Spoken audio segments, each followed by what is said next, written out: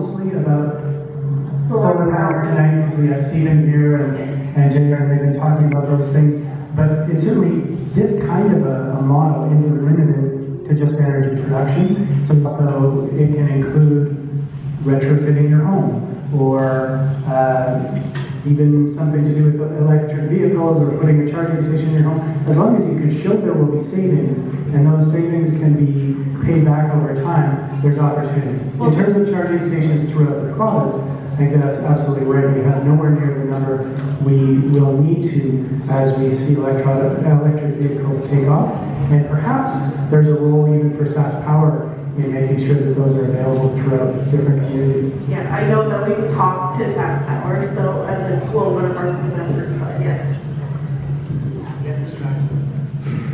Uh, thanks very much for your question. I'm, I'm not going to actually directly answer your question. I'm, I'm actually going to use this opportunity to educate the rest of the audience about electric cars because I'm also the new uh, owner of, of, an electric car. I drive a, a, smaller one with a smaller range. If you see a little white and green smart car driving around the city, I think I'm the only one, so, so you'll it's me. It's fully electric. Um, range is a big issue of anxiety when you're thinking about getting an electric car because they don't go that far. They don't go as, as far, and the infrastructure isn't there for recharging them. So, unlike gas stations, uh, although I, I, will say from growing up in rural Saskatchewan, you know, driving several hundred kilometers and you know getting to be 10 o'clock at night, like crap, where the heck am I going to fill up with gas? It's the same sort of issue. Um, but most of us do 97% or something like that of our driving within the city. Mm-hmm. And for the odd time where you actually do need a vehicle to take out on the road, uh, you'd be far better off economically to drive an electric vehicle around the city and to rent an internal combustion engine on your long haul trips. That's what we do. And, and so I actually have a, uh, an internal combustion car that I use for my long haul trips uh, because some of my trips I'm, I'm putting on, you know, 800, 1,000 kilometers, possibly in a single day. And uh, uh, the other thing I want to let you know is that I'm driving a five-year-old electric car, but and it only has, you know, maybe a range at best, depending on the temperature, of 130 kilometers. Uh, but the new cars are, in some cases, triple or quadruple uh, that. So uh, electric cars are the range of technology is expanding exponentially. It's a great idea, uh, fantastic way. Even with coal-fired electricity, the extreme efficiency of electric cars compared to the, the engine means it's a cleaner footprint even with coal-fired electricity.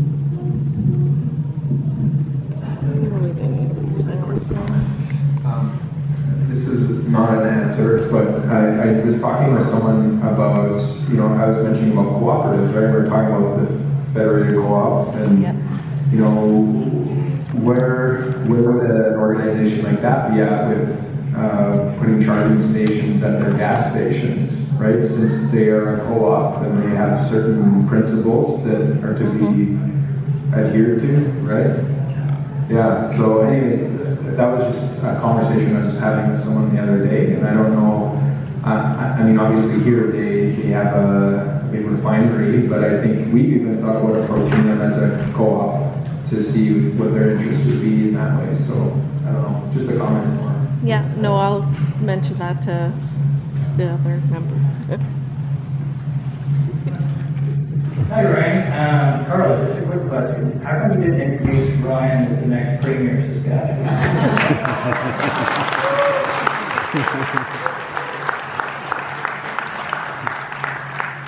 no, you, you did catch that and it did go through my head and that's usually how I in, introduce Ryan. Um, one of the models that we have for Renew Saskatchewan in this event this evening was certainly this is a, a partisan event, this is a New Democrat uh, uh, event and, and an idea, but we also want to bring people in, to bring their their why and their how into this, um, to reignite that that vision of, of what we could do, um, how how big this could be, how you know business might see themselves in this, how community members might see themselves in this, schools might see themselves.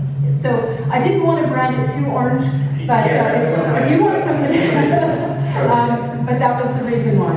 Okay, but no, my, my question is, um, in the United States, uh, there's been some real progress with the House of Representatives, and of course, Bernie Sanders has been talking about really calling the issue of climate change and environmental degradation. He's put it on the same uh, level as bringing in a New Deal. In fact, uh, the Democratic Socialist wing of the Democrats have talked about a Green New Deal, and I, I like that concept. And, and some of Bernie Sanders' comments have also made the environmental degradation and climate change be as big an issue as, as fighting fascism in the 1930s and 40s. And in fact, I would draw a bit of a parallel because it seems like the same players in the 1930s and 40s are back again with different names.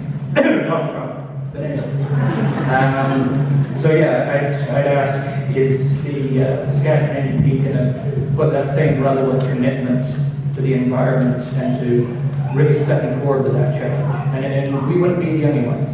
Norway's committed to eliminating the sale of fossil fuel vehicles, I believe, by 2030. Sweden the same. Many other countries are really taking this on as a, a huge responsibility. And I think it's time that uh, the Saskatchewan NDP, like the CCF did in 1944 with Medicare, take the absolute national leadership on the environment. Thanks, George. Um, Well, as you mentioned the, the Green New Deal, I was asked by a student reporter the other a similar question. about are we watching what's going on in the States and how that conversation is developing? Absolutely. And as I mentioned earlier, we'll talk about Renew Saskatchewan in this one piece, but it has to be much of a part of a much larger package.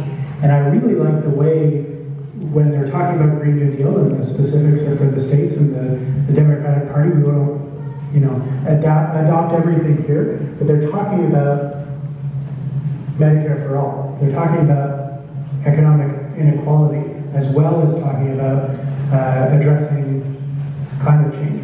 And, and it's really being packaged as an economic stimulus as something that will improve uh, the economy, will improve people's lives. And I really like that because it takes us away from what can be a, a very punitive or, or very uh, depressing approach uh, to climate change and says, okay, how can we, as Stephen said, uh, seek out the opportunity to take advantage of this moment to not only transition our, our production of energy, but also improve the quality of people's lives at the same time. Go ahead, Mike. Hi. I have a question, and a couple of comments that might help you with answer. Uh, February 13th and 14th here in Regina, the world and the media are all going to be here, and news from all over the world will be watching the court on the carbon tax case. It's going to be live streamed, it's that important to the world. Uh, I act for the National Farmers Union, who is supporting the carbon tax. I have for I have for a number of groups who attend, who are supporting the carbon tax. The Canadian Association of Physicians for the Environment.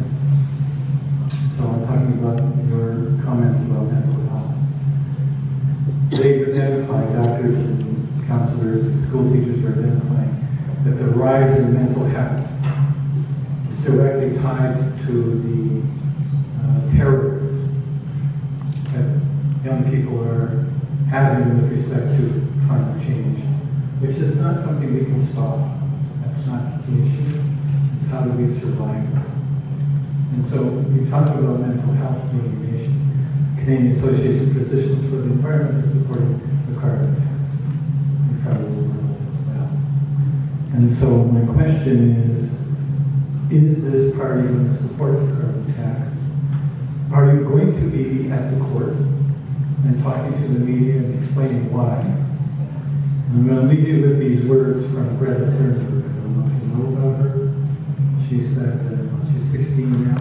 Yay, Greta! Uh, 30,000, at least 30,000 children, school children, going strike every Friday. And that number is raising. Last week it was 50,000. And here's what she says. And I, I I kind of tear up when I read what she says, but these are the words that are motivating why I'm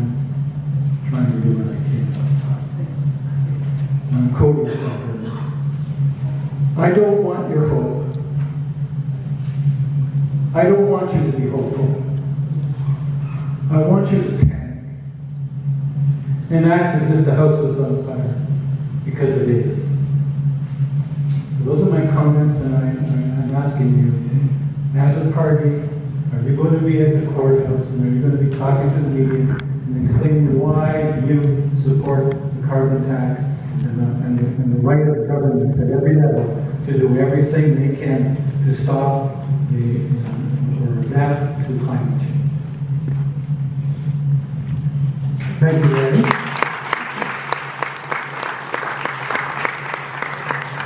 Larry, you referenced, uh, you referenced a friend of mine there uh, with CAPE, Courtney Howard. She's an emergency physician up in Yellowknife. And she talks, in, in Yellowknife, she's in the Northwest Territories. They're seeing the effects of climate change more rapidly than we are. And her conversations with, with elders talked about how, um, how quickly the change was happening. And she, this is a, an amazingly bright and dynamic person. She said she was depressed for a year, that she went into a, a severe climate-related depression. And she tells that story. And she talks about how uh, advocacy is better than, is a better cure for anxiety. And how she now goes out and works uh, she flies around the world and is conferences and is a, great advocate for addressing climate change through a health lens. And I really, I really respect Courtney and I really respect Kate. The discussion around carbon tax has become toxic. It's become, it, it's been rolled out in such a way by the federal government that it's become a stick by which right-wing governments can, can beat the federal government. It's become such a, a hot topic that it's absolutely impossible to talk about in a reasonable way. And as a result of that, and I think maybe we, you know, we should take some of the, the blame for how that conversation has gone, not engaging it in the most positive way possible. But the result is that the vast majority of the people in the province are strongly against it. So where does that put us? Where does that put us? Larry, it's, it's wait for me, I'm not done. Um, the that puts us in a difficult place. As Abraham Lincoln said, when popular opinion is with you, nothing can fail. When it's against you, nothing can succeed. So we need to recapture this conversation. The court case that you're talking about is going to be very important because it'll tell us whether or not this is coming or not. And then we can have the discussion about if it's coming, how do we do it? And if it's not, what else can we do? What isn't on the table at all is, is inaction. What isn't on the table at all is not meeting our standards, not meeting our commitments. Let's have a serious discussion about where carbon pricing fits in, what parts of the economy it works, and what parts it doesn't, where do regulations fit in, where do the sort of stimulus programs like uh, Renew Saskatchewan fit in for a whole package uh, for making sure that we do what our job is. What is our job? Our job is to reduce emissions and deal with this in a, in a expedient way, do it right. Our job is to also make sure we do so in a way that keeps people working, keeps our quality of life at a decent level, and do so in a way that we actually can do it because we have the people with us. So that's why I think Renew is such an important piece of bringing forward the kind of hopeful option that people can say, I'm part of this. This is part of my life.